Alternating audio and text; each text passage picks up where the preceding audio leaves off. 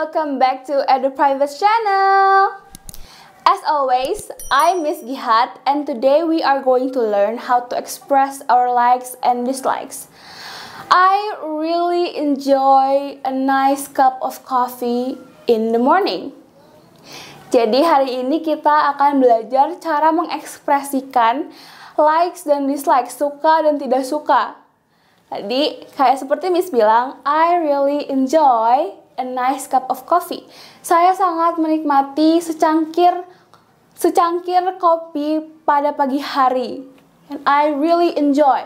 Itu adalah salah satu ekspresi untuk me mengekspresikan rasa suka. Nah, coba kita lihat di sini.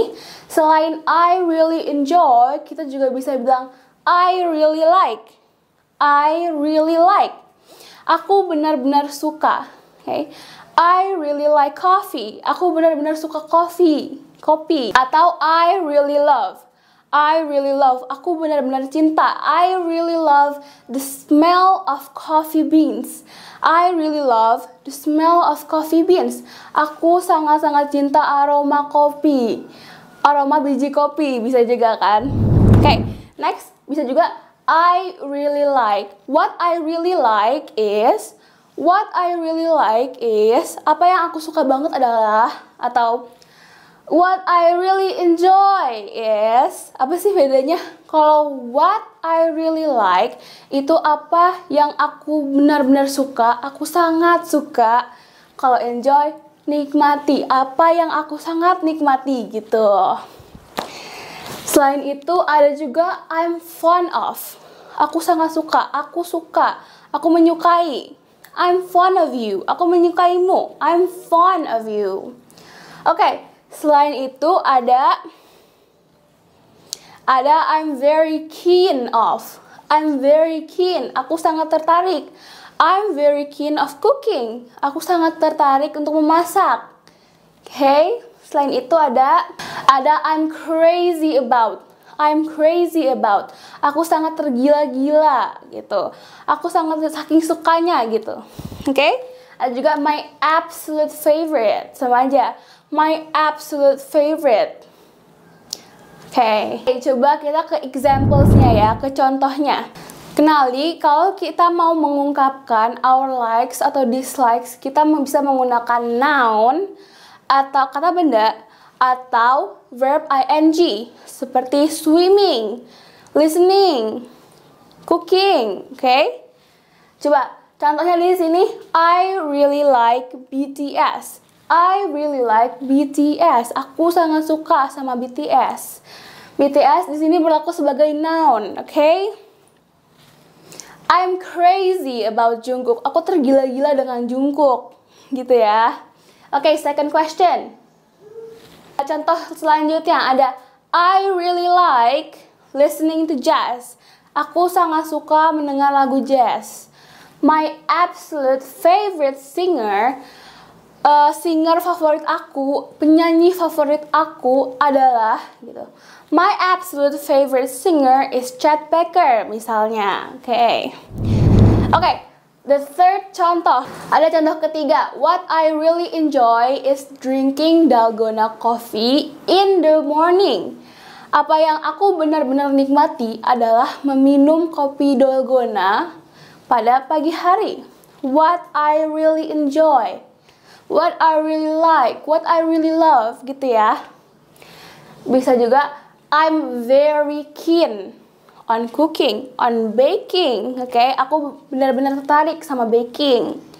Oke, okay? selanjutnya how to express our likes. Jadi ini yang nggak suka banget tapi nggak benci banget. Jadi tengah-tengah, sedang. Oke, okay? Okay, next adalah in the middle. In the middle maksudnya sedang. Uh, jadi nggak suka banget atau nggak benci banget. Jadi biasa aja. Oke, okay? kita bisa bilang apa? I don't mind.